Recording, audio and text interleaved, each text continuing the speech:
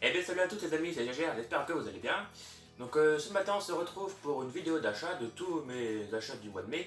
Je vais vous montrer tout ça. Euh, Il y a beaucoup de Wii U, vous allez voir que j'ai bien rempli la full set. Donc euh, pareil, petit changement, j'ai mis mes jeux Wii U en premier, comme ça vous voyez bien où est-ce que j'en ai. Là il y a plein de trous dedans parce que vous allez voir tous les jeux que j'ai achetés ce mois-là. Donc du coup vous allez voir, je vais compléter les trous au fur et à mesure. Donc on va commencer, bah... Bon allez, on va, on va faire la Wii U, comme ça. On va faire la plus grosse partie en premier. Euh, J'en ai acheté pas mal, regardez, il y a tout ça. Il y en a combien? Il y en a 9 ou 10 je crois 2, 4, 6, 8, 9, 10 Ouais, bah 9, 9, 10 je- en gros. Donc euh, je vais vous présenter tout ça. Donc euh, le premier jeu euh, trouvé à, à Pikachu ou Easy Cash, enfin bref en, en cash. Kokoto Magic to Circus, donc voilà, je l'avais jamais vu celui-là, donc je suis assez content de le rentrer. Il était à 9,99 et il était vendu avec ces deux pistolets que j'ai oublié de vous de préparer. Voilà, il était vendu avec les deux guns, donc du coup il faut mettre les Wiimotes dedans et puis il faut tirer comme ça. Euh, moi je l'ai pas essayé avec les deux guns, je l'ai essayé avec euh, le gamepad. Donc du coup on prend le gamepad et il faut faire glisser comme ça euh, des... ben, je, sais plus trop ce que c'est, mais il faut faire glisser des trucs comme ça pour shooter des, des cibles. Donc je pas joué non plus énormément, j'ai juste, voulu- j'ai juste essayé, donc c'est assez moyen. Enfin bref, ça en fait de plus pour euh, la full set. Donc euh, Kokoto pour 9,99. Alors, le deuxième jeu, euh, toujours dans les magasins cash, que j'ai peut-être payé un peu cher, mais bon, vu que je le voyais jamais, bah, j'ai pas hésité à y mettre, le prix. C'est le euh, Marvel Avengers Battle for Earth. Donc euh, j'ai eu à 25 euros. C'est vrai que ça fait un peu mal, 25 euros n'empêche. Mais si je veux avoir la full set, il faut que je mette les prix de temps en temps. Donc je l'ai testé aussi celui-ci. Moi je pensais qu'il allait être super bien vu tous les super héros qu'on peut voir dessus. Franchement ça a l'air d'être vachement bien. Mais euh, du coup, euh, quand on lance le jeu, il y a une bonne, une bonne euh, introduction, il y a une bonne cinématique au début. Et j'étais assez étonné. Mais une fois qu'on est dans le jeu, eh ben, c'est très moyen. Franchement, j'ai trouvé ça un peu nul en fait. Parce qu'il y a un système de combat, mais qui se fait au gamepad avec le tactile. Donc ça, franchement, j'ai été très déçu par ce jeu. Et en plus, je l'ai payé assez cher. moi. Parce que j'ai vu sur eBay qu'il était à entre 15 et 20 euros max. Et là, j'ai mis 25 euros, donc tant pis, c'est pas grave. Alors, un prochain jeu que j'avais déjà fait sur PS4 que j'avais adoré, c'est le Watch Dog. Donc euh, là, il est sous blister, euh, ça, ça vient d'eBay.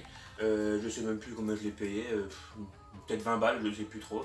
Donc voilà, le petit Watch Dog. Euh, Il n'y a que le 1 sorti sur la Wii U, le 2 n'était pas sorti sur Wii U. Et donc du coup, j'avais fait sur PS4 à l'époque, j'avais super bien aimé, franchement. C'était un bon petit jeu. Maintenant, il y a deux Skylanders, donc logiquement, c'était les deux derniers qui me manquaient.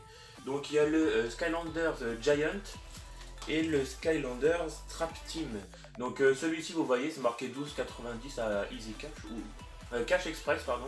Donc euh, 12,90. Celui-là, je sais plus, ça devait être 10 euros l'autre.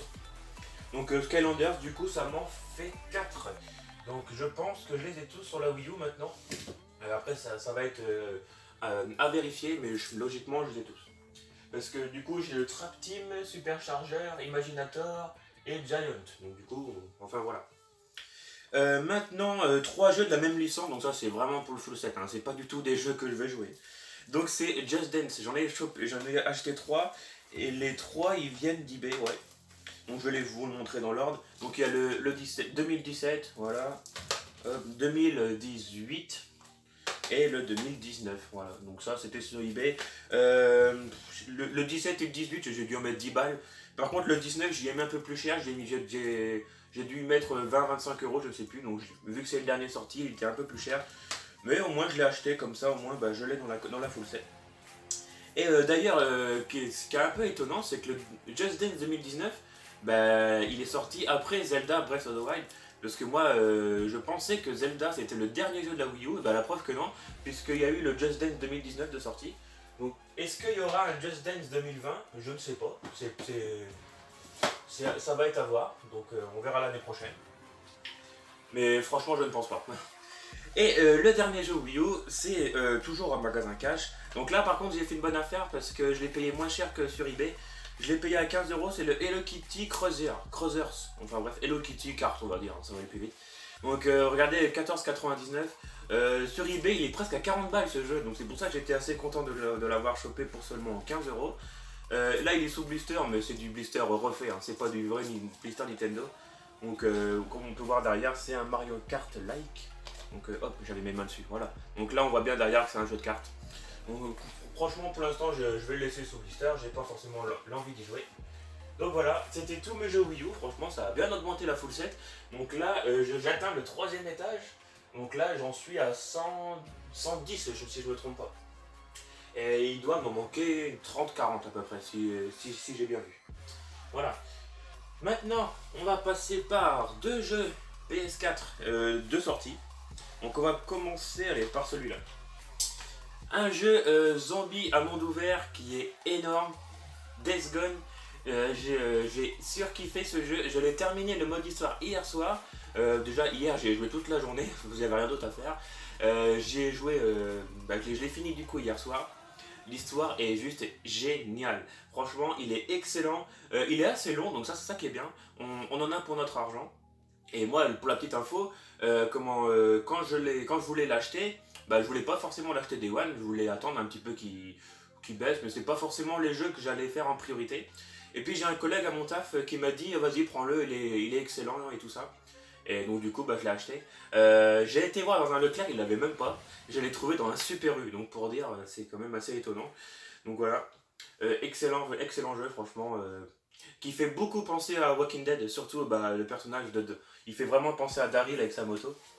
Donc franchement, quoi dire de plus sur ce jeu Graphiquement, il est très beau. La carte, est assez grande.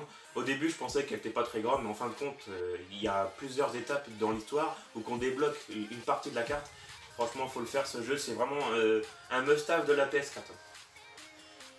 Et maintenant, le deuxième jeu de PS4, donc du coup, je l'ai toujours pas lancé parce que je voulais attendre de finir euh, Gone, mais je vais le lancer aujourd'hui. C'est le Team Sonic Racing qui est sorti euh, bah, depuis peu, là, depuis quoi, une ou deux semaines peut-être.